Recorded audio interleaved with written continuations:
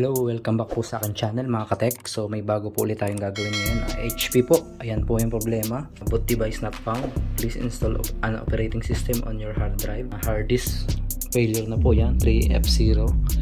Patayin muna. Subukan natin buhayin. Minsan lumalabas siya.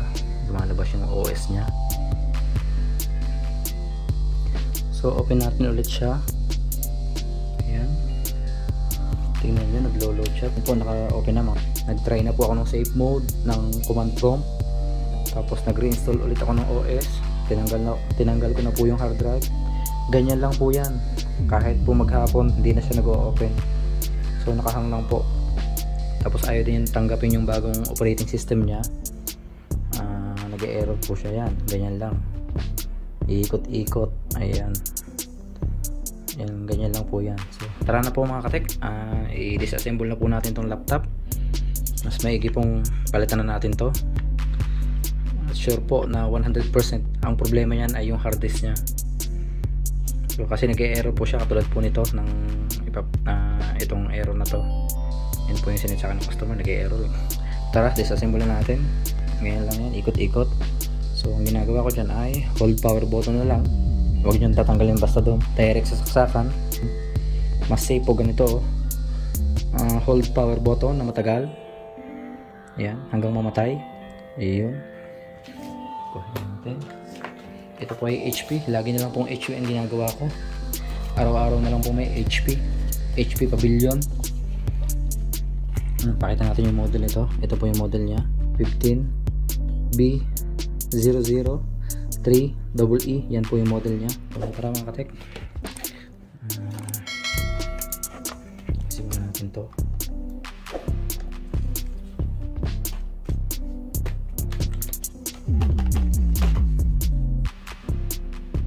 Alisin natin yung mga screw. Ito po yung sa keyboard. Yung lock ng keyboard ito yung screw nya standard lang po yung screw nito. Pare-pares lang size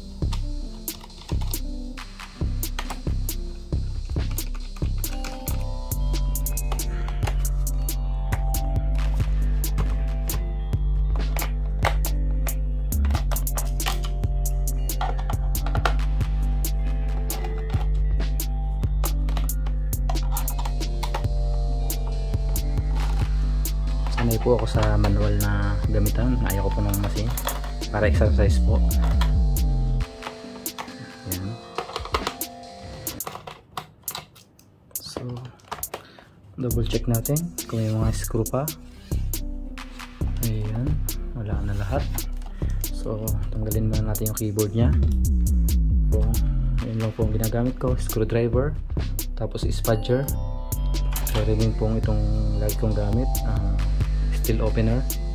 Uh, slide po pero mas maganda po ito para iwan na scratch or gas gas so dito po tayo lagi mag-umpisa sa taas. Yan. Po dandahan lang po. Napakasimple lang po. Yan. Open na siya. Dandahan lang po pag alis ng locking tab baka masira din po. Tapos konting ingat lang po din pag tanggal ng ribbon first time po ito ma-open. Ayan. So mag-apply din po tayo mamaya ng thermal paste kasi sabi ng ano medyo umiinit pa din kasi 10 taon na po itong laptop na to. Ito po yung mga bagong labas pa. So alisin natin yung screw sa harap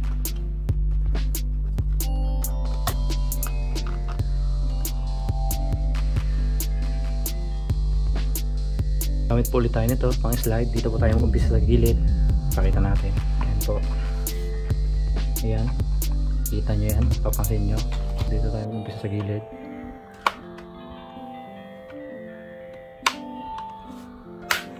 Ayan. So naririnig nyo. Tumutunog siya.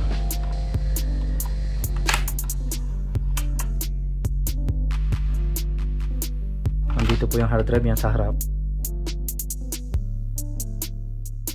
yan po heatsink umiinit po. Yung buga yung bugaw niya po papunta dito mainit na yung buga. So siguro sa 10 taon hindi pa napalitan yung thermal paste hindi pa hindi pa nare-paste. So ako na po magpapalit. Alisin muna natin yung hard drive. Basahin na po tayo kahit halo-halo ni screw.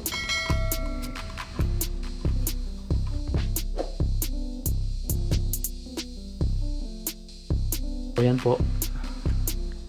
Yan po yung ating HDD. Papalitan po natin ng uh, SSD. Yan po. So yan po yung bago at luma. So bago po akong palit para isang gawaan, i-replace ko muna po ito. Lagyan mo muna po ng thermal paste na panibago. Tirahin ulit natin. I-replace natin para mas maganda, mas ma lamig yung takbo ng laptop. Ako po ang unang naka-open ito. Wala po pong naka-open na iba. Kasi muna natin itong wifi connection.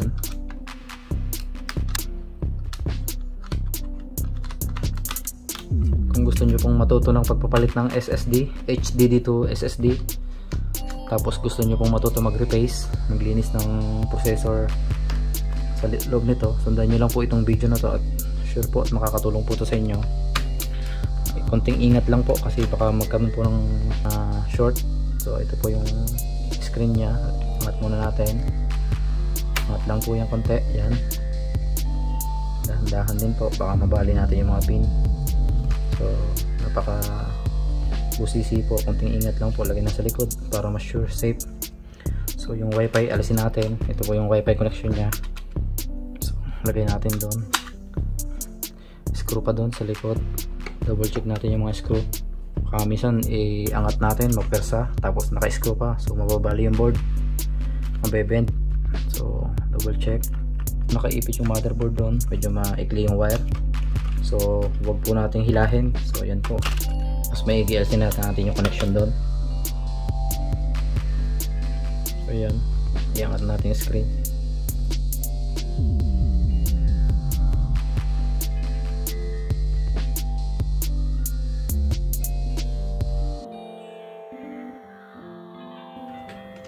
Na natin yung board ngayon kasama yung sa power niya yan.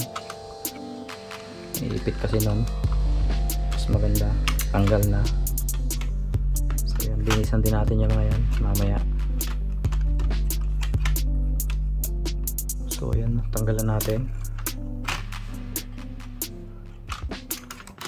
So yan po, lagyan natin ng thermal paste yun itong processor niya dito na din po ako mag-aayos save naman po yan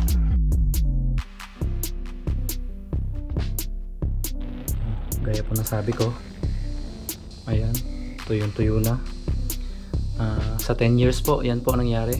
Tuyong tuyo na siya. Tuyong tuyo na po sa 10 years. So linisan muna natin saglit. Yan kaya nag-iinit na po siya oh. Tigas na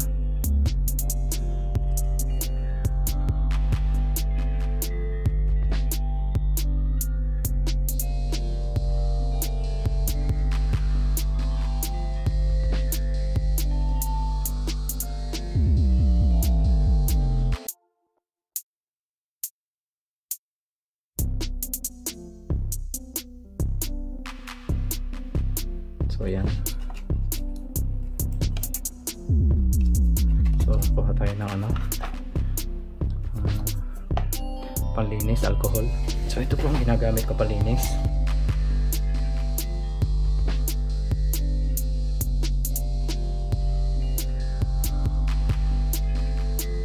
Mapalinis na. So ganun din po sa processor.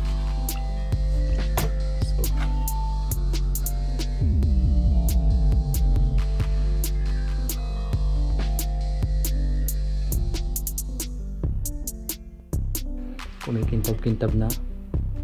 Napakalinis na po mga katek yan. Linis na yan. Yan na po natin ha. Konting, konting apply lang po ng thermal paste. Punta damihan yan, parang ipot lang po sa babaw yan. Parang ipot lang po ng manok. Nakatungtong lang. Konting-konti yung patak lang install po ulit natin to. So malinis naman po yung loob nya wala naman po siyang alikabok kapit ulit natin. So dahan-dahan lang po ang pagpipiting nito. At baka madurog yung processor. Yan. Dapat magkakasabay siyang dadapa.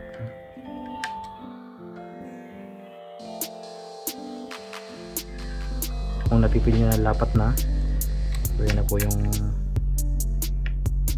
ibig sabihin na dikit na siya so balik po natin sa dati. Okay lang po ito mahaba. At least pwede nyo pong sundan. So kabit muna natin yung DC connector itong power connector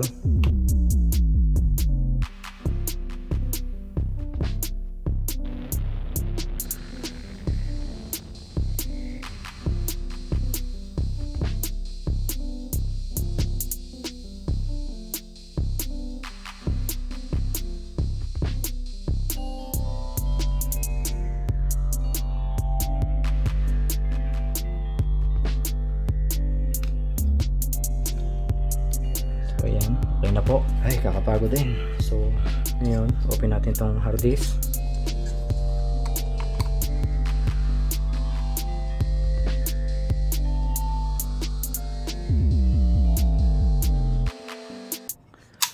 Ayan. Ito po yung hard disk niya. So, palitan po natin ng 480 GB.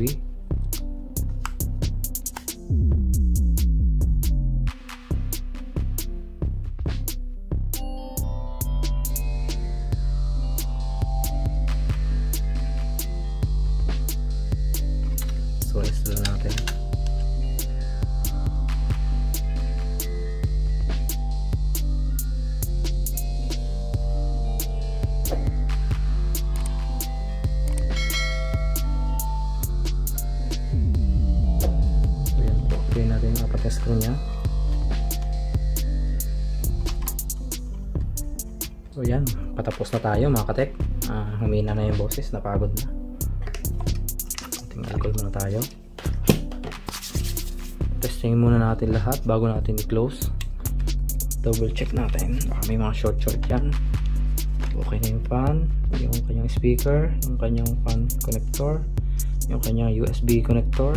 Okay na. Yung wifi, yung screen, so yung SSD. Power on muna natin mga katek. So, back up po natin ito mamaya. Tulong na natin kay customer. So, lagay muna natin to.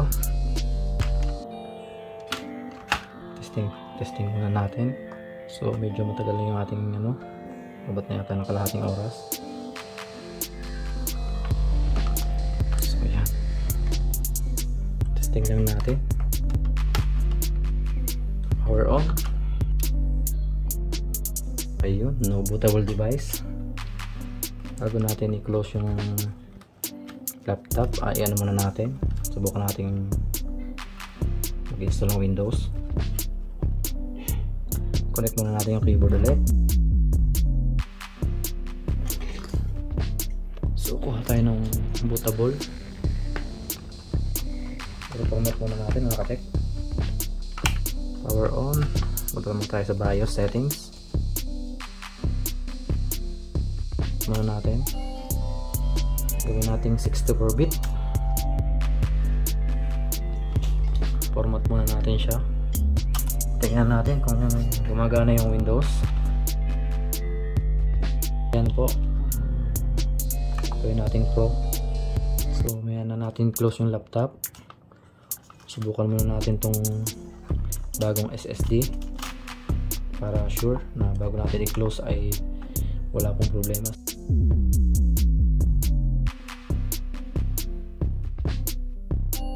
So, ito po. Ayan.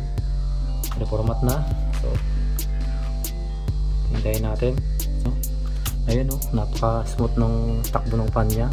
Malamig na po siya. Hindi po katulad, hindi po katulad dati na napakainit. So, yun, matutuwa na po yung customer natin ito. Gumagamit po siya ng ah, cooling pad para medyo lumamig. So, yan po. Tapusin na natin to. So, ito po yung ating mga SSD lahat. Hindi na po ako nagkakabit ng ng HDD. SSD na po lahat ng kinakabit ko. Ayan. Yan na po ang ginagamit natin. Yan po yung maganda. Yan po yung mabibilis. Tapos na yun tapos na bigla hindi na nagpakita ng 100% bigla na lang natapos sa sobrang bilis ng SSD so finishing na po siya malapit na pong mag-load yung Windows. So okay na po to. Restart na natin. Tulungan na natin para mas so yan po getting device ready. So yan malapit na. So napakabilis po. Natutuwa yung customer natin nito. Sobrang bilis. So ayan po mga katek tapos na po siya. So lagyan natin ang pangalan. HP na lang. Tapos next. So ayan tapos na. Okay, hello. Sabi niya hi so ayan po mga katek uh, successful po tayo. Okay na okay po yan. Update na lang po natin mamaya ang Windows tapos install natin yung mga software nya so close na po ulit natin itong laptop. I-close na natin. Oh, napakabilis. Matutuwa yung customer natin ito. so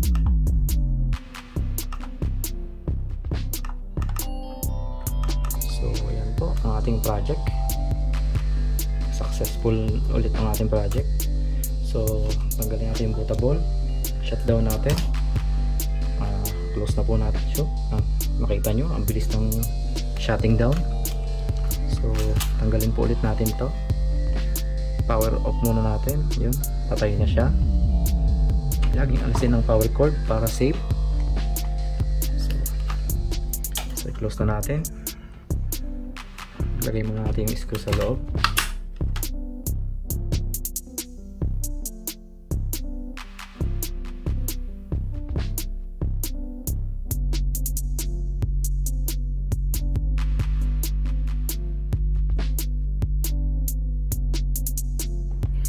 Ay pagod. Pag i-screw hinihingil tayo. So ayan po mga katek aha. Walang labis walang kulang. 1, 2, 3, 4, 5, 6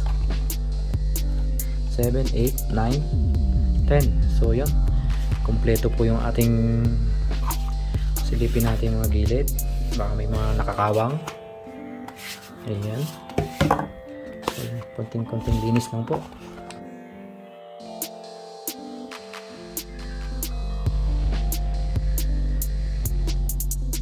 Testingin ulit one time. So, napakabilis ayan. Booting agad ayan po mga katek uh, nag boot po agad siya. Napakabilis po. Ang ganda po ng SSD so yun po ang advice ko. Kung mabagal at naghahang na kung hindi makuha sa command prompt or recovery or reformat ito po yung solusyon. Tanggalin nyo to. Tapos palitan nyo ng SSD SSD po ang magpapabilis. Kahit po ay 4GB lang to. Pero ang bilis nya yan po oh, ang bilis agad mag open so yan po silipin nyo. 4GB lang siya. 4GB yung RAM nya pero naka SSD siya. So hanggang dito na lang po ang aking video na to at sobrang haba na po. So ayan po sana po ay may natutunan kayo. Maraming maraming salamat po sa mga manonood at mga nanonood nito. Sana po ay may, ma, may natutunan kayo at napulot na aral. Uh, maraming maraming salamat po sa inyong lahat so see you po sa aking next vlog. Kung bago lang po kayo sa aking channel huwag niyo pong kalimutang mag uh, like mag share and subscribe. At huwag niyo pong kalimutan i click yung bell para may mga latest update po kayo sa aking mga post so ayun po. Maraming maraming salamat po. Paalam po. Bye bye